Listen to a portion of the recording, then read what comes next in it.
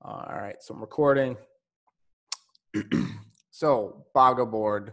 So the, for the Boggle challenge, what do people think of this one? Any comments? Did it suck? I thought it was kind of fun trying to work it all out. Nice. It's good. All right. so first, I'm in Mike Platoon Boggle. I'm going to fork it over to my personal GitHub, Tom Preet. Making a copy of it. All right. Now I'm going to clone it down to my local machine. I'm going to copy and paste or copy the Git or this URL. So I'm going to come over here. Uh, I'm going to git clone. So I'm in the Mike challenges right now. If I actually just list everything out, I don't have uh, Boggle in there, so I can do git clone and list everything out again. And there's my Boggle. I'm going to cd in a Boggle. Now I'm going to open this up in the current window, VS Code. So there's my Boggle board right here. And I told, I forgot to do something I did, said I was going to do last time in guessing game, which was create a new branch. So I'm on, currently on the master. I'm going to do git checkout dash B uh, instructor solution and switch to new branch. So I'm no longer on the master. Now I'm on the instructor solution branch. Great. So let's take a look at, um, does anybody have any, what questions you have about me running through forking, cloning, and switching to a new branch? None? All right, let's get through this one. Okay, it says there's three parts to this challenge. Uh, step one. So if you didn't, if you don't know what Boggleboard is, you can read about it in the Wikipedia. But essentially, this first iteration, all we care about is uh, outputting a Boggle board with four lines, or yeah, four lines with four characters long. So First iteration, we will not care if it's possible for a word to be created with our generated board. In other words, we're going to focus on building out our out the necessary data structure to emulate our board. The board class has one core instance method, shake. Uh, think about how you want to re represent the board. Shake should modify the board by filling each cell with a random uppercase letter, A through Z. Also, there aren't any restrictions on the letters. They can appear multiple times, so choose at random if you've looked into Boggle, you're probably thinking about how in Boggle Q is always QU. Don't worry about this. Instead, just use Q to represent the Q. So when a new Boggle board is initialized, the output should look something like this. All right. So we have our initial initial instance method. So I've seen all all different types of ways we can go ahead about manipulating this whatever data structure we want to make it look like you know four lines with four uh, underscores. Um, i've seen people do use strings. Uh, i've used people use arrays. I've used seen i've seen people use arrays of arrays so nested arrays. But what i'm going to use is just an array of underscores so self dot game board. That's what I'm going to call it. And how do I create an array that is how many characters long or spaces? So four times four, 16. So it should be 16 underscores. So how do I do, I can do like that and then just keep on repeating this 16 more times or 14 more times like that. So I could do that. Or there's an easier way. I can literally just do that times 16.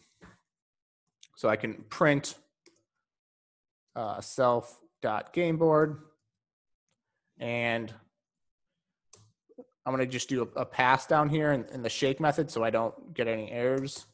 So I'm going to say like new game equals Boggle board and invoke that to create a new instance of Boggle board. What questions do you have about what I've kind of just ran through right now and creating an array of 16 underscores?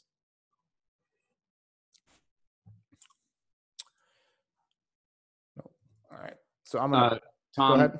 just so thinking about Boggle uh, or your Boggle board, aren't you going to run into problems where like you're not going to be able to know um, which cells are like diagonal from each other and stuff? I think that's for part two. Is, is that what you're referring to? Like actually finding the word? Well, just yeah, but just in general, I mean, you're making a board that has to you have to be able to know where the letters are relative to each other. Yeah. Um, that's part of the algorithm that you kind of have to create in part two Okay. and Boggleboard two. Okay. Yeah. so yeah, it- depending on how you implement your game board or how you print your game board will depend on the type of well your algorithm your algorithm to solve whether or not words exist will depend on how you print your game board essentially. So I'm gonna I'm in the terminal. I'm going to I'm going to run this. So boggle board. There I've get I get an array of 16 uh, strings underscores. But I need it to look like this. So we're not confined to just the shake method. We can create any kind of instance method we deem necessary. So with that, I'm going to say uh, def view game board and invoke it, or not invoke it, and then just do print self.gameboard. So I don't need that. I can always just call like new game board or new game dot view game board and execute, and it should print the same thing. Okay. That's not necessary. That's just something I wanted to do just uh, so I don't have to. Um, just I wanted to create another method just for that. But now I want to create a a method that manipulates this array of underscores to look something like this. So I'm going to create a new method called self or def.print board and pass in self. It doesn't need to pass in any uh, arguments because we already have access to the game board because it's a instance method or instance variable. So now we have to figure out how can we change this and make it look something like this. You got to join it. I've got to join it. Okay. So if I just do like self dot game board, like what does the join method do? It would bring them together like a like a almost like a straight line, but you have to make it like four. So either not exactly sure how to make it four. It's either like a new line or like something with the array, like every four doing something like that. Or Okay. So I heard you say every four do something. So um, I can loop through this. So I can do like grab the first four, grab the second four, grab the third four, and grab the last four and put them on new lines. And that's pretty much what I'm going to do. But now, how do you go about doing that? So um, I can do. Uh, so if I just want to grab the first four of the, of the game board, how do I do that? Self.game board. How do I grab the first four elements? You could use a slice. I can do a slice. How do I? I- don't know how. Like how to do slicing in Python. How to slice a an array in Python. NumPy, that's not what I want. Oh, I guess. What is this? Slicing arrays. So I got this like array, but I don't, I don't know if I need NumPy to do that. So I'll just look in here. So here, Stack Overflow, 4,800 people said, hey, this is the correct answer. So here's the array.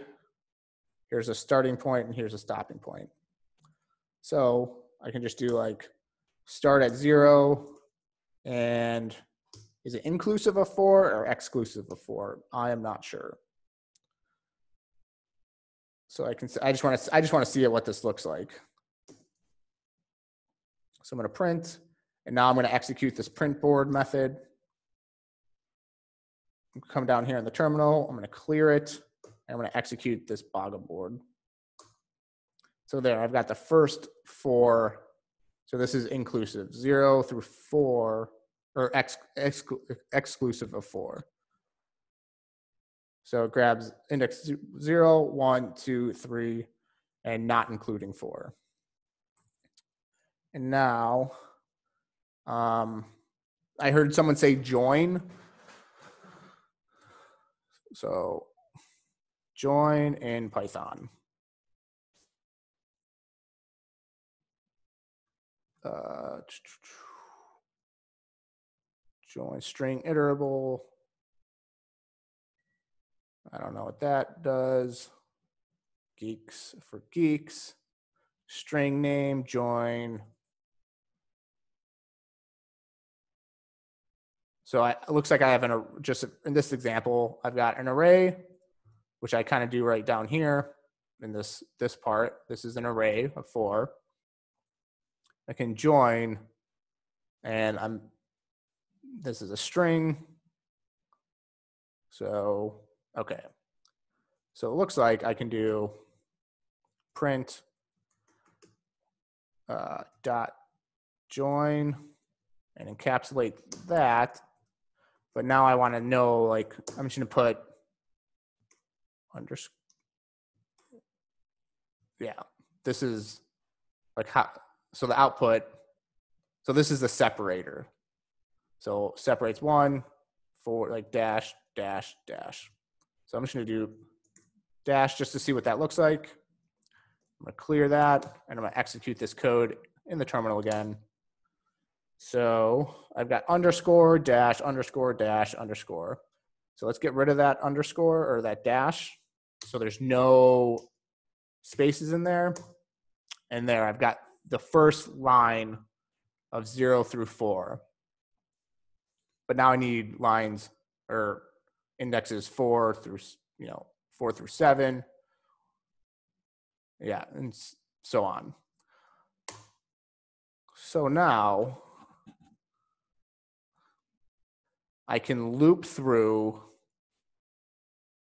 the array and grab the first four, second four, third four, and fourth, the last four by doing four i in range. And now I can start at index zero. So I'm just gonna keep this separate for right now.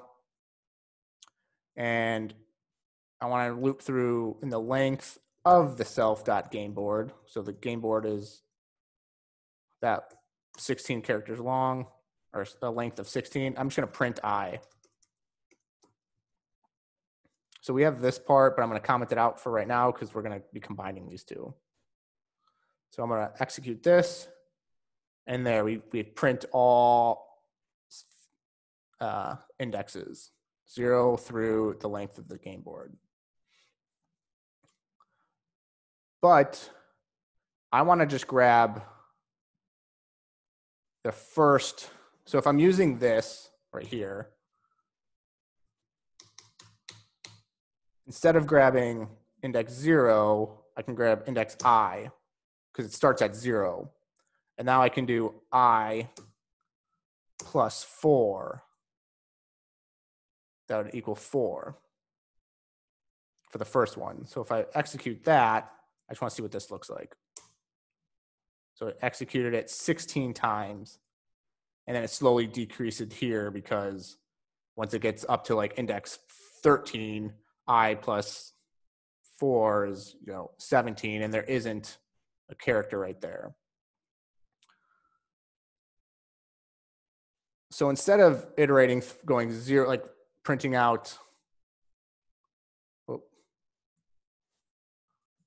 instead of printing out incrementing by one, like I'm doing here, zero, one, two, three, four, five, six, seven, eight, nine, 10, all the way up to 15, I can increment by four because I'm doing I for this join method, I'm doing I plus I plus four. And so the next round, I don't want to do two, three, or four. I want to jump to essentially index four. So I want to grab just these first three. And then the next time it runs through this for loop, I want it to start at four. And then I want to grab these four. And then the next time it runs through the for loop, I want to start at line eight. So I'm going to look at the range in Python. W3 school. so the range has a start, stop, and an optional step uh, argument, which is how often I want to step, like how much, instead of starting it going incrementing by one, I can increment by two or something. So if I print that, it starts at 0, 2, 4, 6, 8, 12. But if I do 4, it starts 0, 4, 8, 12. So I is 4, 0, 4, 8, 12. So if I is initially, the first time it goes through 0, and then it prints I plus 4, so it'll print 0, 1, 2, 3. And then the next time it goes through I is 4, it'll say I is 4, 4, 5, 6, 7, 8. So it'll print the, the next four.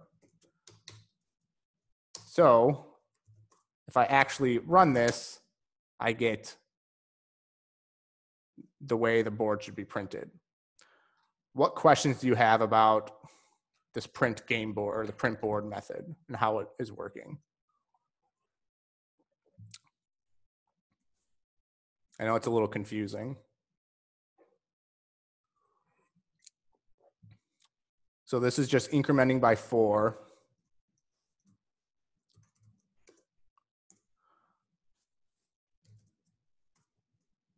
So zero, four, eight, 12. So just every four, it's incrementing. And then in this print, it's just doing I and then I plus the four because we need four lines in, in the game board. One, two, three, four. So it's literally just grabbing the first four, second four, third four, and the last four.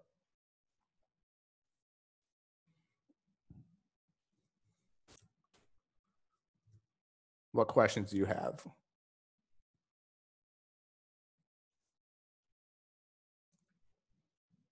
Nothing? All right. And so first it says when the new Boggle board is initialized, the output should look something like this. So right now I actually actually I actually have to invoke the print board method, but right when I initialize it, I want it to show the board. And right now it's not because I just print Python, I ran this, initialized a new Boggle board game, and it's not printing anything. So up in here, I can actually initialize it with calling self.print board method. So I'm actually invoking this print board method in this in dunder init um, function method. And I'm invoking it like that. And that's why we do the self in here. So self.print board, I have access to all the different methods I have access to different instance methods by invoke doing the self, just like we would be doing the self dot for instance variables. So now if I execute that, it shows that initial game board.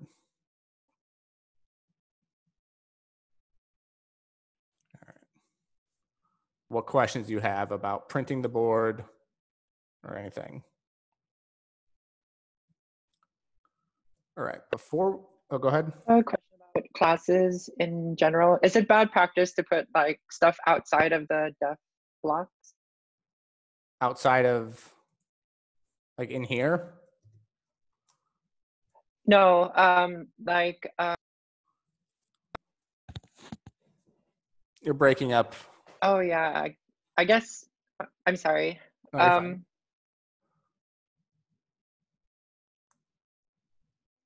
like uh, yeah, I guess it would be in the class thing. So like if you created a function that you only want to use inside of the class and then you call it, is that bad? So Would you want to create another def that calls the function if you need to use that function? I don't think I quite understand. what you're- So,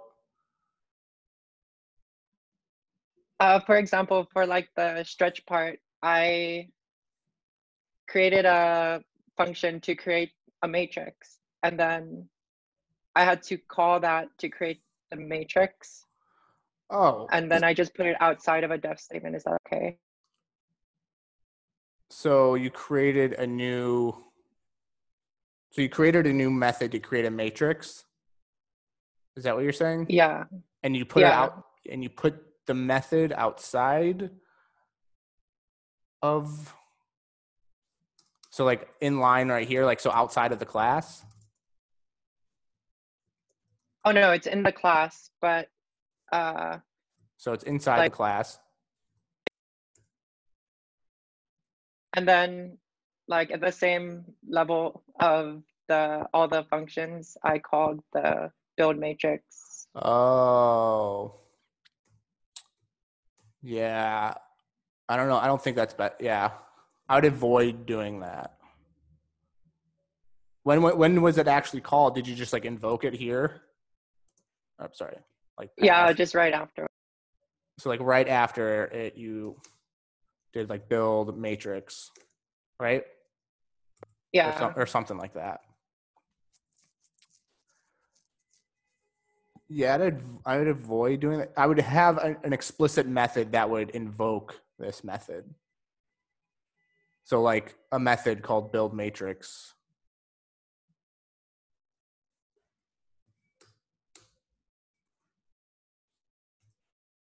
Yeah, you should you should create like another method to actually like like def like build game logic and then you'd run execute that method to like build a matrix and do other and then like do like perform other perform other logic as well Okay, so you never want anything outside of like a def statement in Right. the class. yeah Can you can you build a function that doesn't call self and then reference that function like in other methods? No, unless you explicitly pass that in as an argument. So you should always, if you want to use instance methods in other argu in other methods, you need the self keyword.